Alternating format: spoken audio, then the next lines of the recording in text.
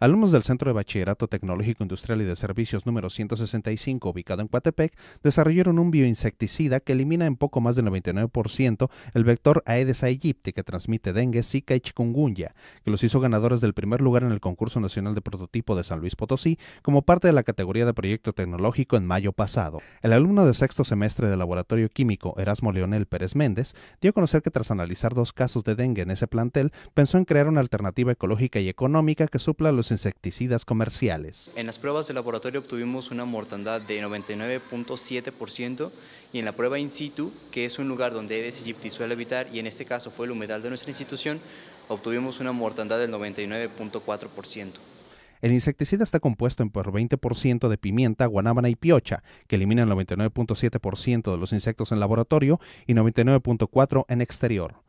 La estudiante de cuarto semestre Betsabe Ivonne Miramonte Rivas expresó que el proyecto nació para resolver problemáticas sociales no solo a nivel local, también nacional e internacional. Y nos inquietó saber que este mosquito había afectado no solo nuestra nuestra comunidad, sino nuestro estado, nuestro país. Entonces decidimos investigar más acerca de él y cómo darle solución a esta problemática social, porque es una crisis sanitaria que realmente está afectando a toda nuestra sociedad y es así como surge este proyecto.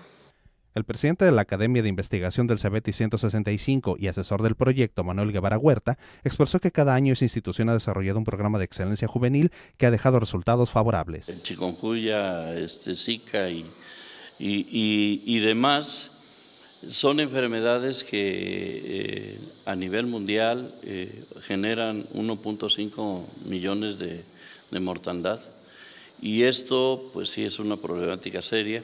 Entonces, eh, hemos estado trabajando últimamente con activos vegetales para poder encontrar alternativas como el bioinsecticida, este, para poder controlar y, aniquilar la plaga de Aedes.